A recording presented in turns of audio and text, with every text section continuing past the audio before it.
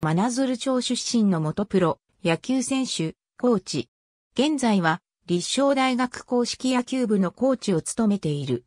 かつて、高知ファイティングドッグスに所属した元プロ野球選手で、現北海道日本ハムファイターズ職員の青木宗也は実定。小学校低学年時はサッカークラブでゴールキーパーをしていた。6年生の時に発足したばかりのソフトボールクラブへ参加。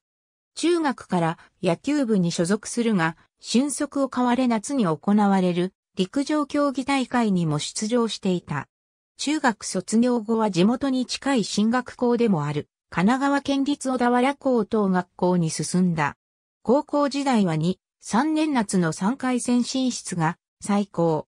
卒業後は、青山学院大学もしくは、慶応義塾大学への進学を希望していたが、高校通算29本塁打で、持ち前の高打、強肩で隠れた逸材として、各球団学会でのドラフト指名を狙っていた。そして、1997年のドラフト会議で、広島東洋カープが6位指名し入団。1年目のキャンプの時に注目選手としてメディアから取り上げられたが、一度も一軍に上がることなく3年間で広島を自由契約となる。対談後はアメリカ球界に挑戦するため渡米。実に18回ものトライアウトを受け、2003年にシアトルマリナーズ A 級チームと契約したものの、1年限りで解雇という浮き目に遭う。2004年にはオーストラリアに渡り、現地のセミプロチームに所属。この時、オーストラリア野球代表選手が数多く日本の社会人野球チームに渡るとの話を聞きつけて帰国。2005年、オーストラリア選手主体のクラブチームであるウェルネス、魚沼に日本人唯一の選手として所属した。しかし同年春、チームは都市対抗野球大会新潟県一次予選で敗退。オーストラリア人選手は全員帰国し、自然消滅的に休部状態となった。その後チーム運営方針をめぐって、運営母体の体験学園と青島健太監督が対立し、7月にチンタオが対談。青木も対談し、再び渡米してジャパンサムライベアーズに入団したが、このチームも同年限りでアメリカから撤退し、わずか半年で退団した。同年夏、セガサミーホールディングスが公式野球部を創設し、初代監督にチンタオを起用することを発表した。チンタオ氏と仰いでいた青木は、同年秋のセレクションを経て、セガサミー入り。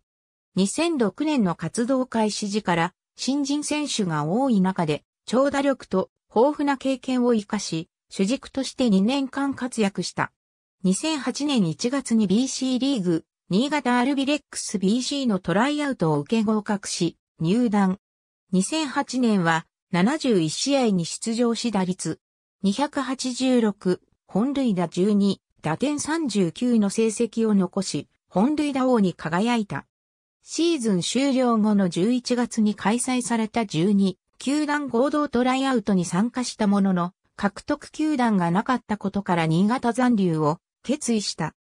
2009年は残留決定とともに退団した外野手兼任コーチの今鈴を次に代わって野手コーチ兼任となり、シーズンでは全72試合に出場して打率344、本塁打16、打点51の好成績を上げ、本塁打と打点の2冠に輝いた。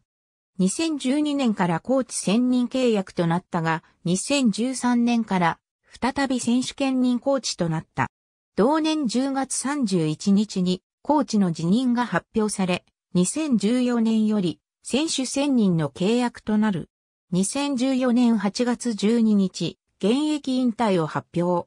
9月14日のシナノ戦で引退セレモニーが行われた。2016年よりセガサミー時代の同僚、坂田忠二郎が監督を務める立正大学公式野球部コーチに就任。ありがとうございます。